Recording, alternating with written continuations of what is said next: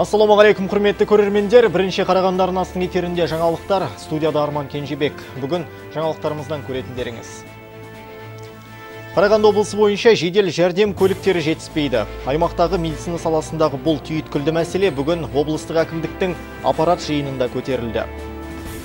Облыс әкімінің бірінші орынбасары Асылбек Дүйсебаев Соқыр өзеніндегі көпірге жасалып жатқан қайта жөндеу жұмыстарымен танысып қайтты. Ботанический көшесінің тұрғындары үшін үйлерінен шығу қиынға соғуда. Оған себеп үй алдындағы үлкен дуалдың пайда болуы.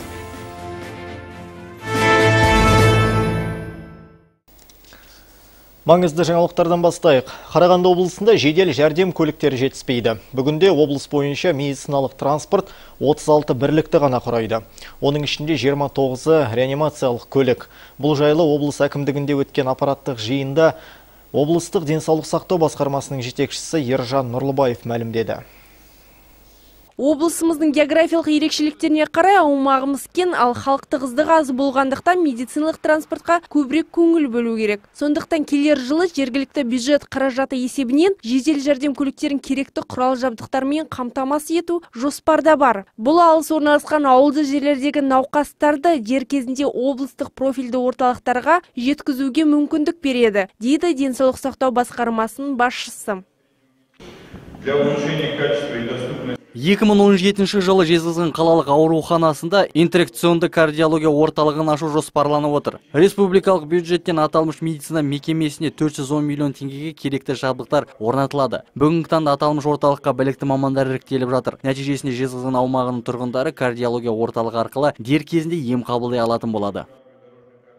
Бүгінде облысымызда 65 жастан асқан емделушілерді қабылдайтын елу диспансерлік кабинет жұмыс істейді. Сонымен қоса ми инфарктісі байқалған науқастарды тексеру үшін қаламыздың номері бірінші ауруханасында компьютерлік томография орнатылды. Аталмыш медициналық жабдық келер жылы Балқаш қаласында да орнатылуы мүмкін екендігін Қарағанды облысының әкімі Нұрмұхамед Әбдібеков жиын барысында сөз етті. Оған қоса медициналық транспорт мәселесі өткен жылы біршама шешілгендігін, алайда биыл аталмыш мәселе қайта көтеріліп отырғандығын да айтты аймақ басшысы жедел жәрдем жетіспеушілігін дереу шешу керектігін де айтты сонымен қатар отырыста облысымыздағы республикалық маңызға ие автокөлік жолдарының бойына қосымша медициналық құтқару бөлімшелерін ашу мәселесі де көтерілді. Далее внести предложение по потребности егер қажеттілік туындап жатса ақпараттандыру керек. Қажетті құрал жабдықтар туралы маған мәлімдеңдер. Лизинг арқылы қол жеткізу мүмкіндігі болса онда біз мәселені талқылап бірге шешім қабылдаймыз. Бүгінде Қарағанды облысында жеті медициналық құтқару пункті жұмыс істейді. Тағы да төртеуін құру қажеттілігі туып отыр. Олар Астакаровка Ошағанды бағытында біреу және Жезқазған аумағы бойынша үш бөлімше. Облыс әкімі аталмыш мәселені Қарағандыға іссапармен келген премьер-министрдің бірінші орынбасары Асқар Маминмен бірге қарастыруға уәде берді. Айнұр Бекжанқызы Олжас Ғаббасов, Арман Артаев, бірінші Қарағанды телеарнасы. Аймақ басшысы Нұрмұхамбет Әбдібеков өскемендегі халықаралық инвестициялық форумға қарағандылық делегацияны бастап барды. Онда әр елден келген инвесторлар Шығыс Қазақстанды кәсіпорындардың көрмесін аралап көрді. Шараға 13 елден 300-ге жуық өкіл қатысты.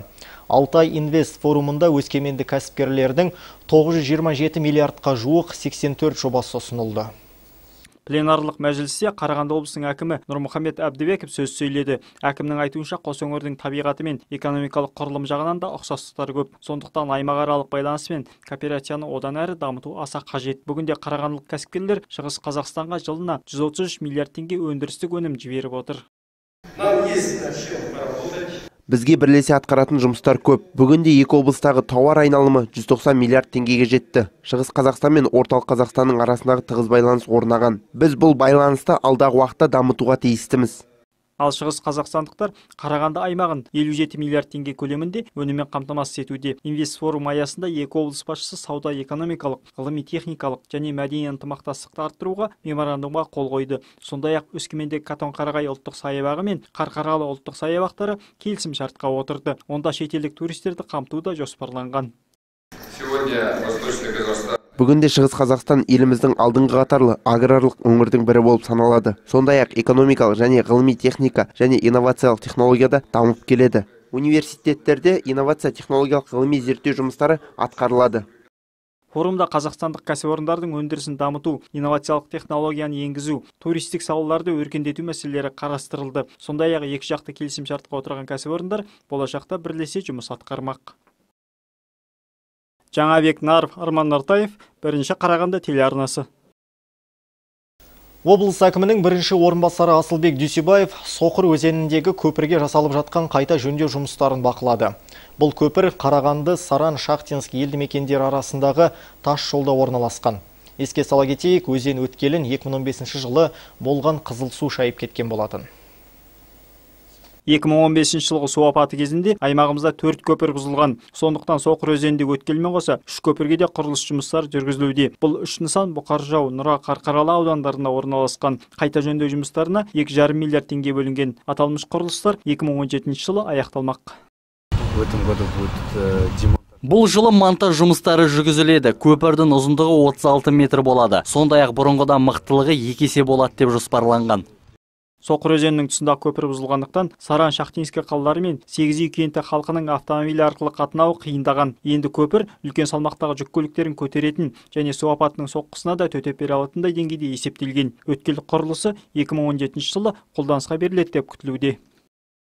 В этом сейчас начали мы демонтаж моста и объездную, э, объездную потом планируем э, буроннабивные сваи в этом году забить вот здесь. Останавливаться не будете, да? А? Останавливаться не будете? Не, останавливаться. алдағы уақытта көпірдің құрылысы жалғасады деп жоспарланған іс сапар барысында асылбек дүйсебаев жауапты мамандарға тиісті жұмыстарын сапалы атқаруды тапсырды жаңабек наров арман нартаев бірінші қарағанды телеарнасы Жаңалықтарымызды жалғастырамыз. Ботанический көшесінің тұрғындары үшін үйлерінен шығу қиын болып отыр. Себебі аяқ астынан пайда болған үлкен дуал мұндағы халықты қоршауға алған. Кесірінен зейнеткерлерге дүкен мен дәріханаға бару үшін кеңінен жайылған дуалды айналып жүруге тура келеді. Ал темір құрылыстық құрал кімге тиесілі екендігін ешкім дәл айтып түсіндірер емес.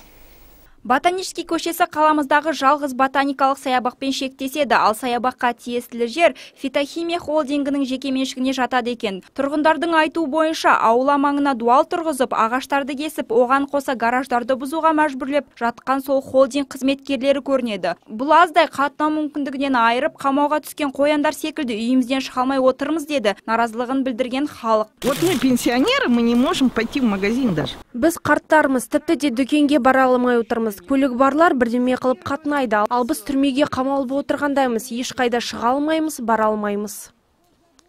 Тұрғындардың басты мәселесі бұл емес, бір ғана дүкенге дейін үш шақырым жаяу қатынап жүрген халық фитохимия холдингі өзінің аумағын кеңейту мақсатында бетон қамалды тұрғызу жұмыстарын бастап кеткендігін айтады. Салынып жатқан дуал орындағы сирек кездесетін ағаштардың барлығын түбегейлі жойған, ал қамал бойында орналасқан гараж иелеріне орын ауыстыруды талап етуде.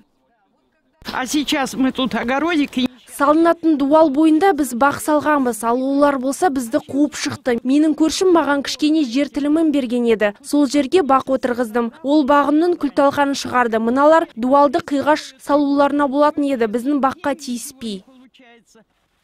Тұрғындар шағымдарын арқалап әкімшілікке барған болатын, бірақ онда халықты жолаушыларды тасымалдау көлігі және автомобиль жолдары басқармасына жіберген. Алайда аталмыш басқармадан ешқандай көмек көрсетілмеген. Тамыз айынан бастап шенеуліктердің жауабын күтудеміз деді наразылығын білдірген халық. Ал фитохимия және Қарағанды фарм комплекс мекемелері болса бір-біріне сілтеп, дуалдың қожайыны кім екендігін ашып айтпай отыр.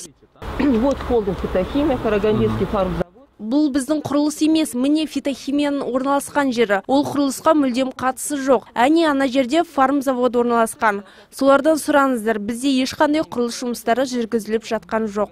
Тұрғындар болса енді кімнен барып көмек сұрарын білмейді ал, ал қожайын анықталмаған құрылыс осы бетінде қалуда. Аяжан Ералықызы Арман Нартаев бірінші Қарағанды телеарнасы. Теміртау Қарағанды тас жолында жан түршігерлік жол көлік оқиғасы орын алды. Жолаушылар автобусы мен жеңіл автокөлік соқтығысып, салдарынан бір адам оқиға орнында жан тапсырды. Жарақаттанғандар да бар. Қазір оларға алғашқы медициналық көмек көрсетіліп жатыр.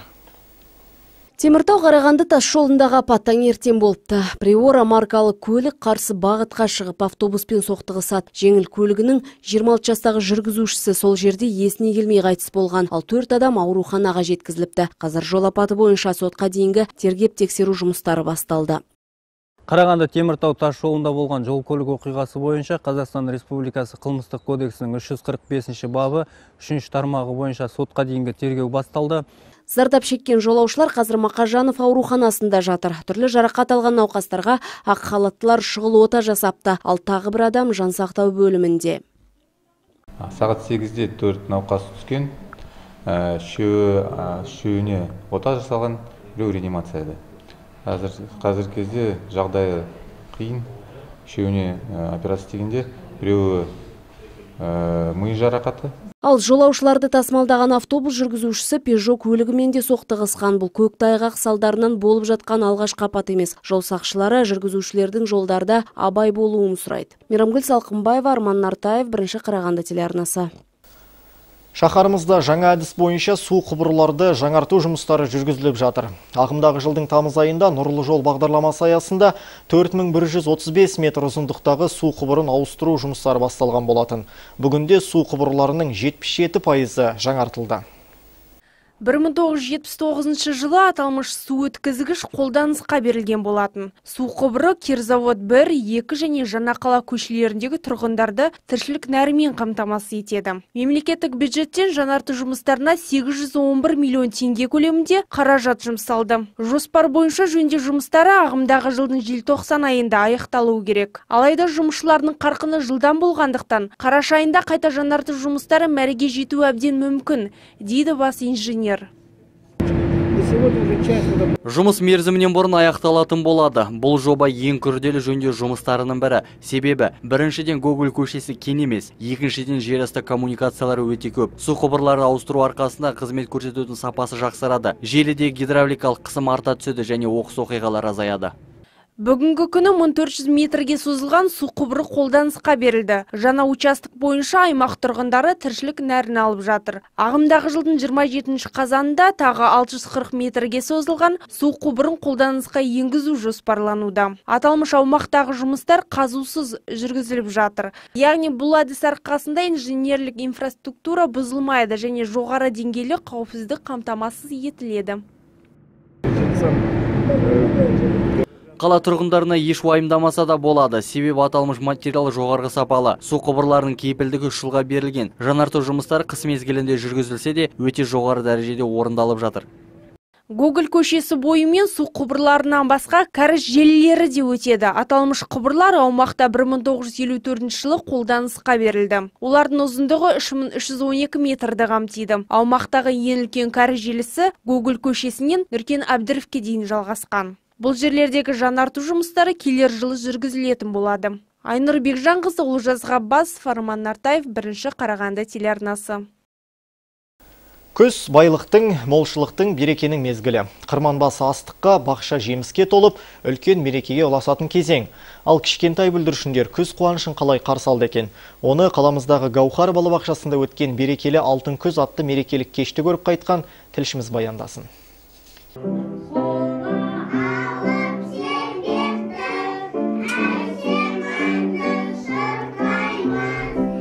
Сызылта ән салған бұл бүлдіршіндер үшін балабақша қабырғасындағы соңғы алтын күз. Кішкене ханзадалар мен ханшайым бейнесіндегі балалар күз мерекесінің қызығын өзінше сезінуде. Ересек балаларға арналған аққу тобының тәрбиеленушілері бірі ән салса бірі би билеп қуантып жатты.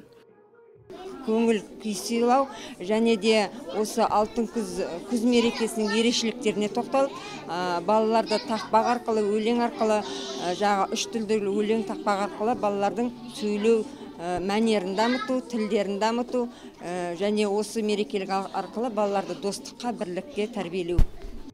Кеше ғана сарауыз балапан болып келген бүлдіршіндер бүгінде есейіп ер жетіп қалған. Балабақша табалдырығын аттағанда қазақша сөздердің басын әупірімдеп қосқан балапандар қазір ана тілімен қоса орыс ағылшын тілдерінде тақпақ өлең айтуға жарап қалған.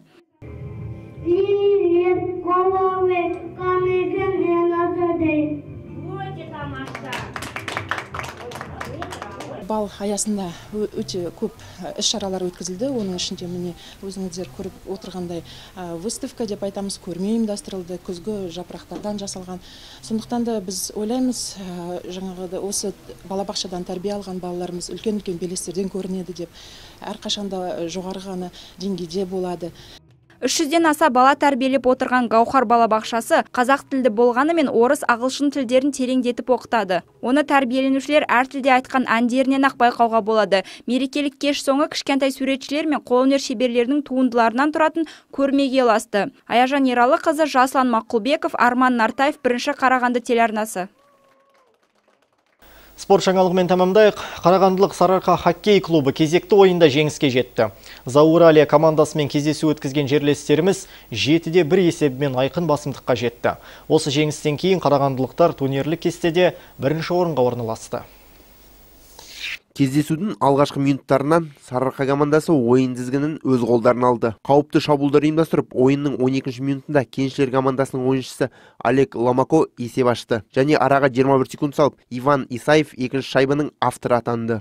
Осылайша ойынның бірінші кезеңі Сарыарқа ойыншыларының пайдасына шешілді. Есеп 2-0. Ойынның екінші кезеңі бастала салысымен Сарыарқа ойыншылар белсенділік көрсетіп, қарсылас команданың қақпашысын қапы қалдырды. Антон Сагадеев дәл соққы жасап, есепті 3-0-ге жеткізді. Көп ұзамай қарсылас команда есеп айырмасын 3-1-ге дейін қысқартты. Ал үзіліске аз уақыт қалғанда Вячеслав Андрушенко есепті 4-1-ге жеткізіп, Сарыарқа командасының қоржынына тағы бір ұпай салды соңғы 20 минут қарсылас командаға ешқандай сәттілік әкелген жоқ. Ал кездесудің 47 минутында есеп көрсеткіші 6-да бірге ұлғайды. Ойынның аяқталуына 31 секунд қалғанда сәтті соққы жасап данил файзулин есепті 7-де жеткізіп сарыарқа командасына айқын жеңіс сыйлады. Все понятно все видно на табло было. Ойын барысында әрине жеңіс те жеңіліс те болады. Бұл ойын біздің команда үшін сәтсіз болып жеңіліс таптық. Әрине біз тоқтап қалмаймыз әрі қарай дайындығымызды жалғастырамыз. Жіберген қателіктерді түзетеміз. Қарсылас команданы жеңісімен құттықтаймын. Ал сарыарқа командасының бас бапкері болса осы ойында тек жанкүйерлер үшін ойнағандарын айтты. Хотел бы да поблагодарить ребят команду. Мен ең алдымен жанкүйерлерге алғысымды айтқым келеді. Олар әрқашан бізге қолдау көрсетеді. Біз осы ойынды өзіміз үшін емес жанкүйерлер үшін ойнадық. Бәріңізді бүгінгі жеңіспен құттықтаймын. Біз енді алдағы уақытта болатын ойынға дайындықты бастаймыз. Сарыарқа командасының келесі қарсыластары южный урал клубы. Ойын 26 қазан күні қарағанды арена спорт кешенінде өтеді. Айдар дәуренұлы арман нартай бірінші қарағанды телеарнасы Бірінші қарағанды арнасының тілшілері дайындаған ақпараттар легі міне осындай болды. Қандай да қызықты жаңалықтарыңызбен бөліскілеріңіз келсе, редакциямыздың 42-06-49 байланыс телефонына хабарласуға болады. Ал жаңалықтарымыздың толық нұсқасын арнамыздың сайтынан көре аласыздар. Назар қойып тыңдағандарыңызға рахмет. Эфирде жағымды жаңалықтармен жүздескенше аман сау болыңыздар.